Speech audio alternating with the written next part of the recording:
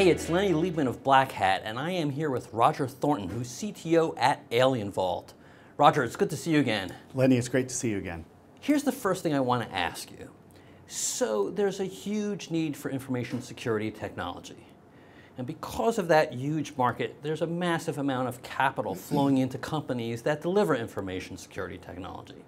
So that's all great, but my sense is that we are nonetheless not feeling that much more secure today than we did a year ago. What's your analysis of that? We get too excited about the field itself and the technology itself, and we forget to take a step back and remember for most companies, uh, information security is something that's been foisted upon them, something they have to do. It's not something that's part and parcel to their business. So a lot of um, where we are today is kind of missing the basics, but going after the, the latest and most interesting shiny object, making sure we have all the latest technology. And I think because of that, we end up spending a lot of money on information techno uh, security technology. Um, we end up not necessarily measuring our efficacy uh, appropriately. And, um, and, we, and we, get, we get a little bit too much involved in whatever the latest and greatest is. So on the buying side, what is your suggestion of what we should do while we're being confronted with all these wonderful shiny objects that probably have a lot of value to them? There's a whole bunch of information security, and let's call it just the basics, that there, it's not all that exciting, it's not talked about all that much, it's not going to be all the flashy brand new products, but it's the simple act of making sure you're on the latest patches and releases of, of systems. Uh, making sure that access control is done right, making sure that passwords are really managed right, and making sure that your end users are aware of threats. Um, I, I, think if you're not good at the basics, you, would almost be better off not worrying about any of the esoteric stuff because you're going to get compromised and you're going to get compromised by really basic stuff. So, mm-hmm. so focus on the basics. And then I think the next uh, um, big picture thing you got to do is depending on what industry you're in, there's a set of strategic um, imperatives, uh, imperatives about how you build systems, how you work with vendors, how you work with your customer base that are going to change uh, if you're in the aerospace industry, if you're in the um, power generation and control, if you're in banking. Um, some of these industries are very sophisticated about security, and frankly, they are the ones that are driving the latest innovations, both on the side of the attackers and, and, and therefore on the industry. But a lot of other industries, um, take for example, uh, anybody who's building embedded systems and IoT systems, there's a lot of real basic stuff that they need to do that's above and beyond the basics that everyone uh, needs to do. And, and, it, and it shouldn't be information security uh, exclusively. A lot of it's going to uh, touch the way that you build and buy things. And, it, and if it's not, then you're, then you're probably not um, doing enough. And then last, so you got the basics, mm -hmm. you get this strategy that's appropriate for your industry. If you're good at both of those, mm -hmm. then there is all of the exotic latest uh, technologies and um, latest techniques to deal with the most advanced threats. Mm -hmm. um, but unfortunately, that's about 90% of what you're going to be bombarded with because that's what's interesting, that's what sells products, that's what sells any, any kind of media. It's what, it's what makes trade shows exciting, right? So I really like the idea of also distinguishing between the basics, which are universal, and some things which depend on what kind of company you are, not Definitely. only vertical market, but also size, also appetite for risk, et cetera. Um, can you relate this to AlienVault's value prop? Are you part of getting the basics right then? In uh, a lot of discussion in information security about how impossible it ultimately is to keep somebody from getting in, right? They, you're going to slip up on one of those aforementioned basics. Somebody's going to get conned into uh, a spear phishing email, and, and they're going to get in. And that's true. But people don't talk enough about if you're a bad guy and you've broken into some company, uh, unless you were the luckiest bad guy on planet Earth, you're going to drop in at a point you're going to have to explore, navigate your way around that company, find what's interesting, and, and uh, take off with it. And those behaviors aren't going to look like the behaviors of people sitting doing banking or designing cars or whatever your primary business is. So Alien Vault's in the, in the business of collecting the data, analyzing the behaviors of what's going on in your computers and your networks so that we can tell if anybody's up to malicious no good. Mm-hmm. You also, when you do that, you, you, you learn a lot about yourself too. Mm-hmm. You see things that you're doing that, that um, may expose yourself to, to threats. Mm-hmm. So um, knowing what's going on, being able to de- detect maliciousness, uh, I'd consider that definitely part of the basics. Surprising number of companies don't do that.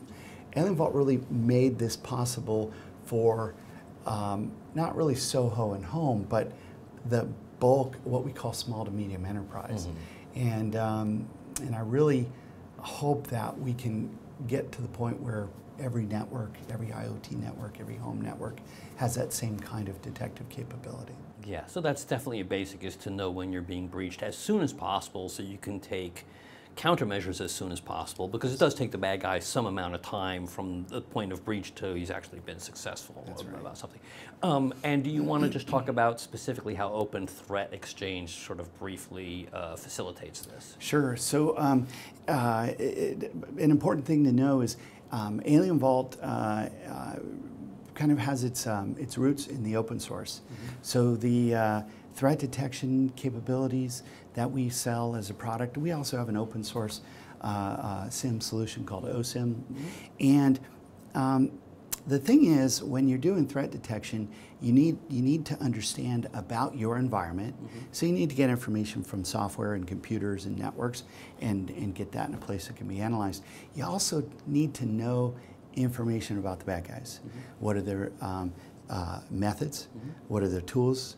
And what are the infrastructure that they're using. Mm-hmm. And if you've got a good handle on both sets of those data and you've got some good data people, you can find them. You mm-hmm. can find those behaviors. Um, for a lot of people, let's say you're working in, um, uh, uh, well, well, let me let me start with the haves, and we'll talk mm-hmm. about the haves-nots. If you're working at a major global bank, you're going to get that information from your own experience. You're going to get it from other banks and the FS-ISAC. You're going to get it from law enforcement agencies. And finally, there are uh, very expensive packages of information that you can buy that'll, that'll tell you about these behaviors and your team can go to work. For the average everyday company out there, mm-hmm. you're making um, bicycles or in the hotel business or you know, boats, airplanes, what have you, you're not going to have access to that data. And so one of the things that we wanted to do with Open Threat Exchange was democratize the data sharing in the same way that our open source software made uh, the, the basic functionality available to everybody. So what Open Threat Exchange is, um, there's about 80,000 members of Open Threat Exchange. Almost all of them are um, um, security practitioners of one type or another. Um, the the uh, data, a lot of the data in Open Threat Exchange is automated. It comes from our open source base. It comes from our commercial part, uh, uh, customer base. There are a number of security vendors we partner with. And then within the community, those 80,000 members are able to tie things together, mm. say, hey, you know what, I've seen that too, but I also saw these other 50 indicators. And we've got a, uh, a bundling we call a pulse. Mm-hmm. A, a, pulse in OTX is a collection of indicators. Mm-hmm. They tie back to threat actors. Every bad guy um, that we run into has a homepage on OTX, so even the bad guys might want to go see how they're doing. Um, the, uh, uh, the key, though, is opening up that data to as many practitioners as possible so that, so that the time in between the uh, identification of, of, of some bit of knowledge about the bad guys and what they're doing and the time between all of us knowing goes down as yep. fast as possible. Yeah, so you're really democratizing threat intelligence. Yeah. Um, and if somebody's interested in this, is there an easy, fast, maybe even free way for them to get started ASAP? OTX.alienvault.com. There's a, you know a little bit of stuff you got to make your way through. You can sign up and join. And um, even an old management guy like me, uh, when I find stuff, uh, my computer's acting bizarrely, I, I can go on there and uh, search for domain names or content of a spamming email or what have you. But one of the things we've added to Open Threat Exchange um, uh, is the ability to pull down a, um, osquery based agent. And osquery is a open source tool created by Facebook, very robust and powerful and high performance, has been um, well proven. Um, we've added a little bit of functionality on top of that that allows it to connect to um, Open Threat Exchange. You put that agent on your machine, you go to Open Threat Exchange, anytime you want, you can scan that machine for the entire set of threats that are known about within um, uh, OTX. Absolutely free, kind of gets you, uh, particularly if you're one of those Soho or, or even mm. a home user, this will get you uh, get you started in detecting threats within within that uh, particular environment. It's not nearly as comprehensive as our commercial products, but it but it, it, it gets you get you started. Yeah, and it's probably a good idea to start somewhere to, to see what the value of the exchange is. Roger, thanks so much for the time. Oh, you bet. Thank you, Lenny. We really appreciate it. Again, Lenny Liebmann of Black Hat here with Roger Thornton of Alien Vault. Hope to see you online again soon.